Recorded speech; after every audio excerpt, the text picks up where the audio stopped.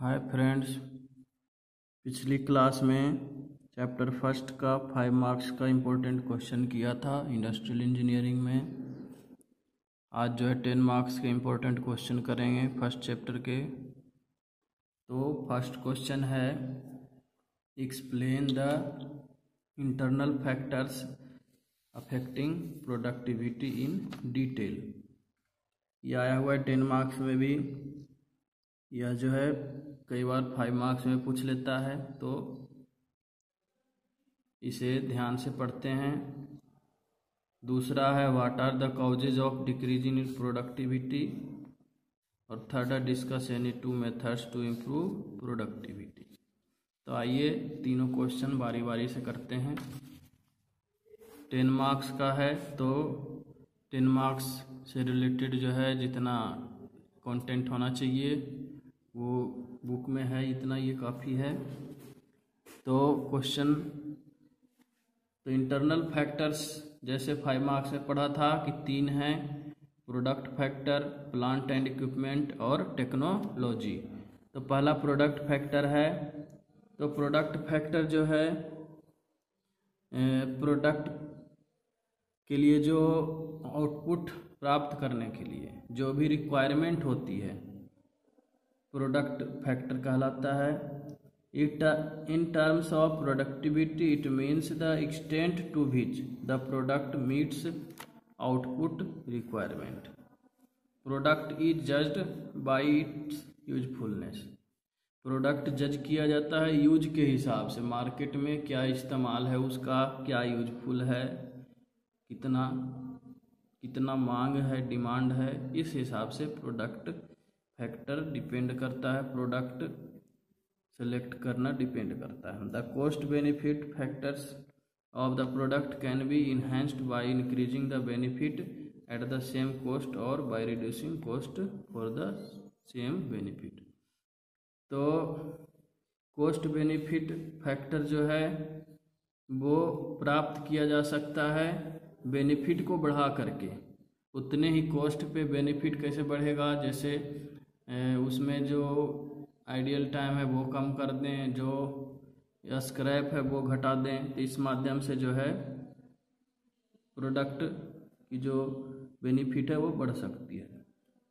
दूसरा पॉइंट है plant and equipment plant और इक्विपमेंट जो है बहुत ही इम्पोर्टेंट रोल प्ले करता है प्रोडक्टिविटी को बढ़ाने के लिए। The increase availability of plant through proper maintenance and reduction of idle time increasing the productivity means जो प्लांट की जो चीज़ें हैं प्लांट का जो स्पेस है उसका अच्छी तरह से इस्तेमाल किया जाए और आइडल टाइम मीन्स जो खाली टाइम जो निकलता है वो खाली टाइम ना हो उस समय जो है कुछ ना कुछ प्रोसेसिंग होती रहे। इससे जो है प्रोडक्टिविटी बढ़ती है। Productivity can be increase by paying proper attention to utilization storage modernization cost investment etcetera means productivity बढ़ाई जा सकती है। ध्यान दे करके किस चीज़ों पे ध्यान दें? यूटिलाइजेशन पे। जैसे भी बताया था जो प्लांट्स के अंदर जो भी चीज़ें हैं मैन मटेरियल मशीन उसकी जो उपयोग है, बहुत ज़्यादा से ज़्यादा उपयोग किया जाए, उसका अच्छी तरह उपयोग किया जाए। स्टोरेज स्टोर करके प्रॉपर स्टोर करके मॉडर्नाइजेशन मीन्स प्रोडक्ट में मॉडर्नाइजेशन करके, या जो ऑपरेशन है, उसमें मॉडर्नाइजेशन करके कॉस्ट कंट्रोल करके और इन्वेस्ट करके, इस तरह से प्रोडक्टिविटी को हम चेंज कर सकते हैं, बढ़ा सकते हैं। इसके बाद है टेक्नोलॉजी। तो टेक्नोलॉजी जो है, लेटेस्ट टेक्नोलॉजी जैसे रोबोट सिस्टम है, फिर ऑटोमेशन में आ जाता है और भी F M S flexible manufacturing system, handling system, इन सब का जो है ऑटोमेटिक जो मशीनें हैं कंप्यूटर कंट्रोल मशीनें हैं, उसका इस्तेमाल करके हम जो है काफ़ी हद तक प्रोडक्टिविटी को बढ़ा सकते हैं। जैसे जो टेक्नोलॉजी है, ये फैक्टर निर्भर करती है size and capacity of plant अगर बिग साइज़ है तो वहाँ पे बड़ी बड़ी जो है मशीनें ऑटोमेटिक मशीनें लगा सकते हैं। छोटी में जो है, दिक्कत आ सकती है। Timely supply and quality of inputs लगातार अगर इनपुट सप्लाई हो रहा है रॉ मटेरियल लगातार मिलता जा रहा है तो जो मशीन्स है, उसका ज़्यादा से ज़्यादा यूटिलाइज हो पाएगा रोबोट्स का भी यूटिलाइज हो पाएगा। Production planning and control production planning control सही हो रिपेयर और मेंटेनेंस जो डिपार्टमेंट है, वो सही तरीके से काम करे। वेस्ट रिडक्शन जो वेस्टेज है, वो कम हो जाए। Efficient material handling system material handling handling system है, वो भी प्रभावी हो। तब जो है यह जो है संभव है।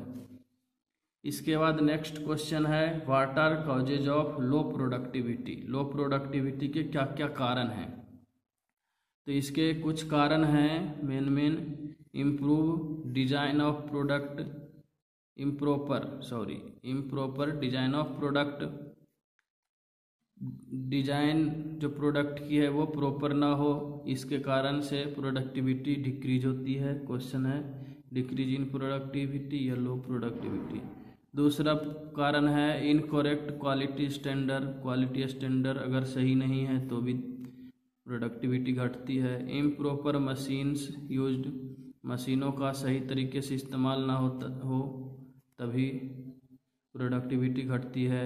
Improper process control leading to wastage and reprocessing सही तरीके से प्रोसेस कंट्रोल ना किया जाए, जिससे वेस्टेज क्या होगी? ज़्यादा होगी या रिप्रोसेसिंग रिवर्क का जो है काम बढ़ जाएगा।